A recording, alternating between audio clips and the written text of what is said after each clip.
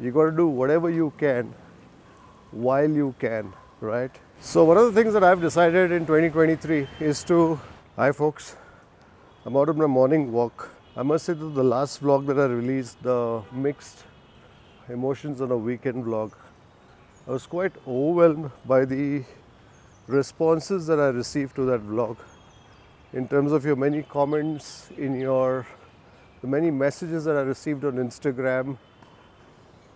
Speaking of situations that some of you had found yourselves in, the pain, the anguish of losing a loved one. And I could feel the uh, the difficulties, the hardship, the sorrow through those messages, through all that I saw. And uh, the only thing that you can actually convey is your strength, your prayers, and uh, your empathy. That's all that you can do, right? Because for somebody who is going through those things, it's unimaginable to see how difficult life must have been for them. I'm sure in situations like these, everything seems very dark. I think from the outside, whatever you may, however you may try to motivate a person or comfort a person, I think everything must be seeming rather bleak. As I was walking by one of the apartments, I could hear somebody singing happily in their shower. The sort of singing that you do with gay abandon when you know the world is not watching. And uh, that sort of situation must seem so distant, so far away for those going through pain. The anguish of having to see someone close to them suffer. So I'm not really trying to offer any solution, I'm not really trying to offer any guidance or any advice because you really can't. But I just think that it uh, once again reinforces the fact that you got to do whatever you can while you can, right? Of course, I did pen replies to as many as I could, and uh, I really wish you strength, prayers, and comfort, although they may not mean much. But I think what's important is to take care of oneself, right? I think that's the one thing that we don't do. Uh, I think in the Indian mindset, we typically take care of everybody around us, all our responsibilities, etc. But I think when it comes to ourselves, that's the last thing that we look at. That's the last thing that we uh, take care of, right? I like to walk down this ramp and then walk up on each round. We're also busy in our day to day work, in our day to day lives that uh, to provide, of course, for our loved ones, for people around us, that we just don't pay enough attention to ourselves. We set out for work in the morning, and that's that. So, one of the things that I've decided in 2023 is to take care of myself on the physical level. Of course, I do a lot of fasting, which basically helps me balance out against the tastings, the feastings that I do. But I just felt that I wasn't getting enough physical exercise. So, in December, I began this routine that I'm going to set for myself one hour each day, every morning, to just do things that will keep me physically active. So, every day I've been going for a walk, followed by some, you know, exercises, some freehand exercises, etc. And what I've also done is I've uh, my office I open my office only at 10:30. So even those that work with me, the few people who work with me, I want them to keep the morning to themselves. Get up early in the morning, do some exercise, spend some time with your loved ones, your family.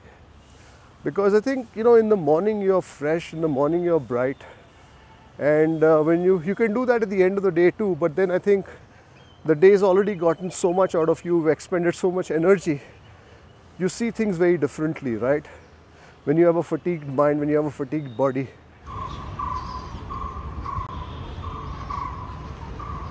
It's always nice to hear bird calls. You've got the sound of the traffic around you, of course, people honking, the cars, the vehicles, there's some construction happening at a nearby site. But then through all, the calls of the bird, penetrates the air.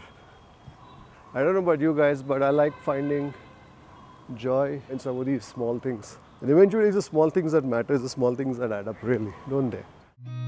I've seen a lot of change, been through a lot of pain. Some things are not the same as they were a year ago. But all will be okay. I move on each and every day. The past is where it stays, way back a year ago. Just finished my one hour.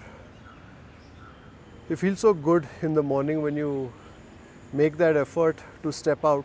So my morning usually begins early because I do my prayer, my meditation. But the one thing that I was really missing out was getting some physical activity on a consistent basis. Of course, I'm not the one who can sit in one place. I'm always walking around. Even when I'm on a phone, on a call, I'll be pacing up and down. And the work that I do requires me to be constantly on the move.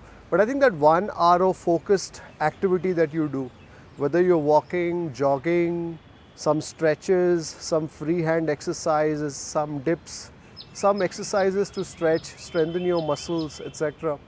I think it feels so good. You kind of, it releases all those endorphins and you just feel ready to face the day. What I believe also is the last time around in 2022, I made this effort to begin, but to be honest, it didn't really go too far. But this time around, I said, let me first begin. So I began around the end of December, and now it's Jan, and now we are on the last day of February and I've still stuck to that uh, schedule of getting up early in the morning. So what also happens is that this gets hardwired into your body, right? So when you get up in the morning and after you've done whatever you needed to, your body is telling you, listen, you got to go out and get those steps, you got to go out and do those stretches, you got to get out and do those exercises. So that's a good thing that happens. Initially it's tough, but then later on your body takes over or actually your mind takes over and says, you know what, you got to give your body this and you automatically step out. So there's certain days where I'm busy and I'm doing stuff and I may not be able to do the entire one hour that I would like to ideally do, but even half an hour, I still make it that I still make it a point to step out, so I don't lose touch with that entirely, right? Because at the end of the day, I may get 20 minutes in the morning, then maybe sometime during the day, I may find 10 minutes that I can just pace up and down wherever I may be. Even at a shoot, once I finish my shoot, I can do that, or maybe while the shot is getting ready, or something else for that matter right? But when you begin, even with the small steps, you know you will complete it because you have a goal in mind. You know, okay, fine, this is what I need to do today. This is what I need to accomplish. So even those small, tiny baby steps make a huge difference.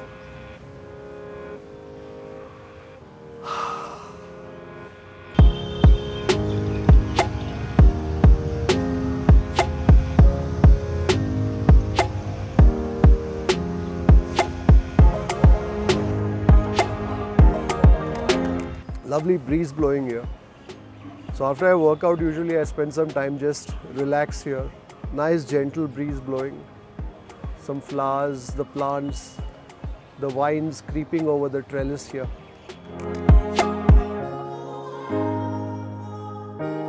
So that's it for this daily vlog or a slice of life in a day vlog. I don't even know what I'm saying. I think it's all those endorphins. But anyways, I hope you enjoyed this vlog. If you did, give it a big thumbs up. If you feel somebody else needs to also see this, feel free to share uh, this message too.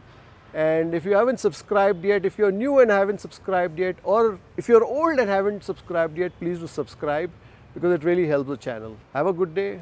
I'll see you on the next one. Bye. Walking up steps is good exercise too.